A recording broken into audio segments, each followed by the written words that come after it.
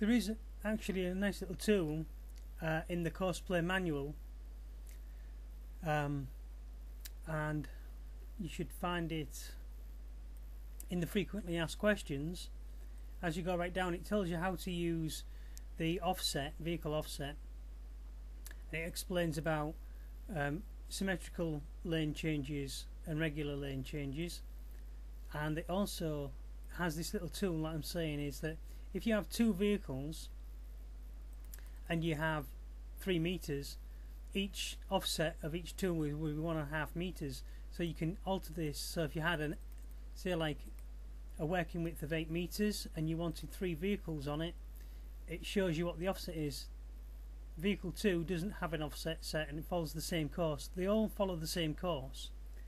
And the idea is basically with Courseplay you um, generate a course after you've plotted the field.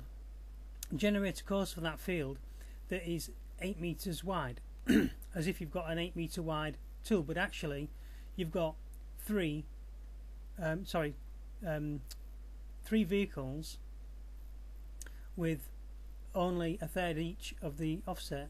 So if you had like let's say let's say I had 12 meters working with um, that would be offset by 12 that would be online and that would be offset by 12 to the right. Uh, and the vehicles will all run together. But you don't have them you don't actually set them all off in a straight line at the same time. You would set vehicle 1 off first and then wait a little while and then set vehicle 2 off or else they'll crash at the headland sometimes um, when they're travelling along the edge of the field. Because the edge of the field is where they will all go into single line but you don't want to bump into each other. There is another feature that says um, keep distance so the vehicles will pass.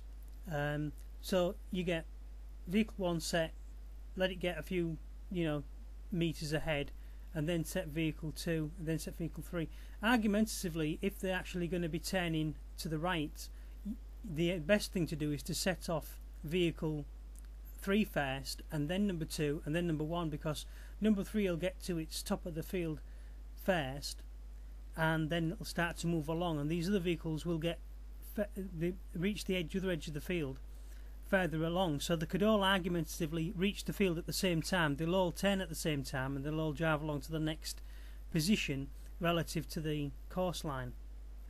So create a course that's 12 meters wide or 16 meters wide you know um, there it is 16 meters wide and put four, four vehicles on it and that's how you would set them out. So offset 24 meters minus 8 meters 8 meters that's on the plus side and 24 meters and you'd have four vehicles doing the same field. So that's a nice little tool in Courseplay but you can obviously work it out in your head as well Now you've been watching Farmer George's Farming Simulators tips for the Farming Simulators 2015 game.